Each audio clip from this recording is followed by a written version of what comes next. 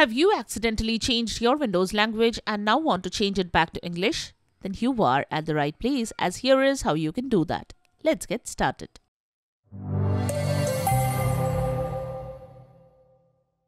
This is the Windows Club. If you accidentally changed your Windows PC language to another language you are unfamiliar with and want to change it back to English, then this video will show you how to get it done. The language of display you choose in Windows 11 or Windows 10 automatically changes to the default language. So, when you can change language in Windows to English, it also changes the current language used by Windows features such as Settings and File Explorer. Now let's get started. Method How to change Windows language back to English. Normally, the initial setup process in Windows offers you a choice to set the desired language as the default language.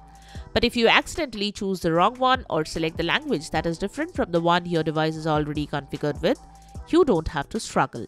Since the language may be in one that you may not understand, follow the instructions on how to change the language in Windows back to English. Right-click the Windows Start button. From the WinX menu that opens, select the 12th entry from the top. This is your settings. In the window that opens, select the 8th option from the top under the side panel. This will open the time and language section. Switch to the right pane and expand the second tab from the top. Then hit the drop down arrow under the first tab and select the desired option. Now move to the second section. This will allow you to configure settings for the region hit the drop down button visible under its first tab, then choose the option that corresponds to the entry you added in the earlier setup. That is, the option that corresponds with the Windows display language set in the Languages setting. When done, hit the back button in the left upper corner.